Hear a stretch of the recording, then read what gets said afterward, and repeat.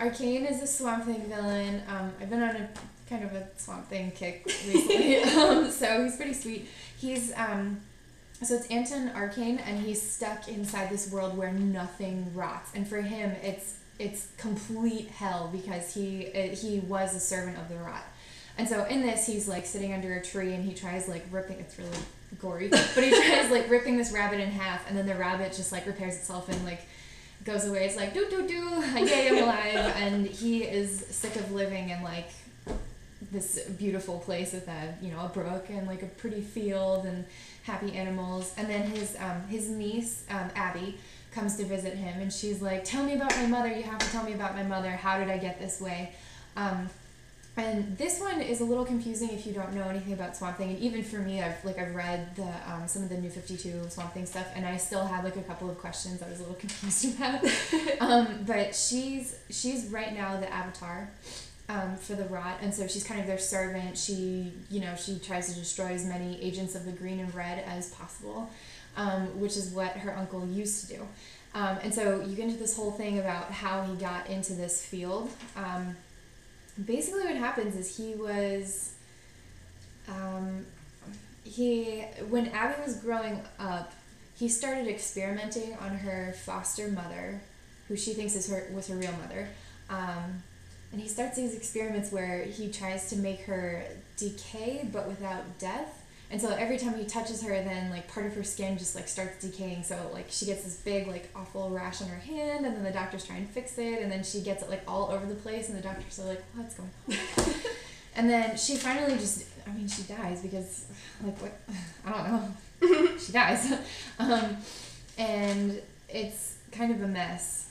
But it's it's cool because you get to see where he came from and yeah, or like Arcane's backstory. yeah his backstory. So you get flashbacks from when he was like a little kid in the 1800s and you know it kind of flashes forward until the present day where he's trapped in this field. Right.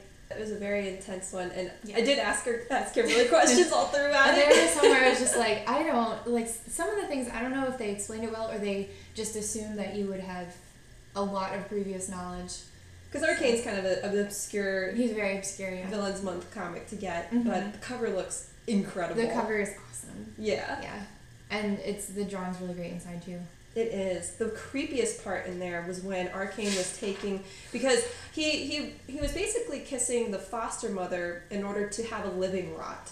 Um, which he said was a more powerful Mhm. kind of thing. It's almost like the rot is a drug to him. Yeah. It's something he has to have.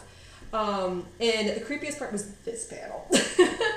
Oh yeah, so at one point he starts like sacrificing people just to like pay homage to the rot. So he's there's this one thing where there's just like a bunch of like dead bodies like hanging all over the place. That's really creepy. But um And he almost hinted that he enjoyed murder. Yeah, And it wasn't it just for the like. rot. He was like, oh, it fell in line with my interests. This is cool. conveniently. Yeah. Um, It's like on his yeah. dating website, interests include murder. Murder.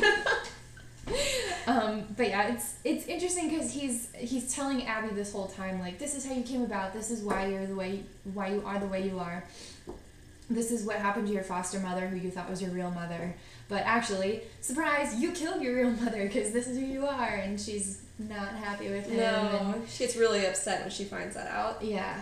And so when he throws the eye through the portal at the very end, is is he able to regenerate himself? I that's what I'm curious to see. Is I I think he probably could, or at least he has like some kind of like foot. Well, you know, a, I guess eye. an eye in the door, whatever, a foot in the door of the the real world. You know, out of this prison that he's been kept in by the parliament. So I don't know. I guess we'll have to see. Yeah.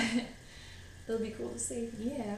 But yeah, I mean, I, I think you really covered the basics of what you need to know um, going into the comic, or after you've read it if you're still confused. Um, yeah, she's the she's the Avatar. They've got she's trying to kill the red and the green Red and you the said? green, and then she's she's dating Swamp Thing. She's she and Swamp Thing have complicated relationships.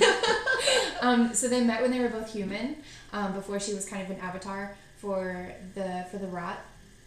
And at one point, he kind of figures out like, oh, I need to stay away from her because this is who she is.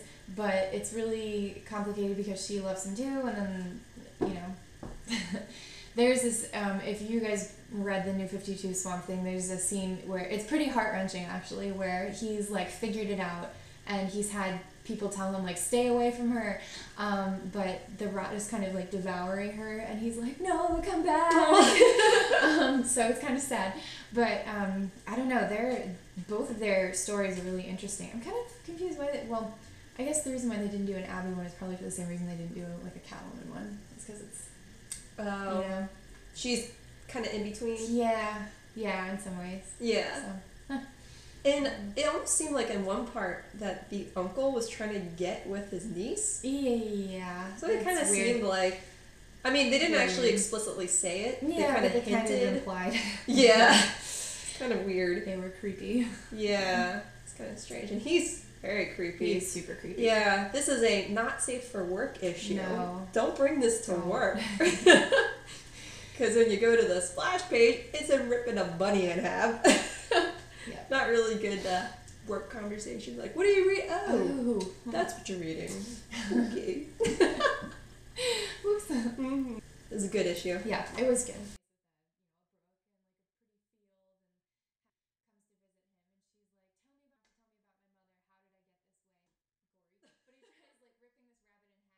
Do do do! Yay, I'm alive.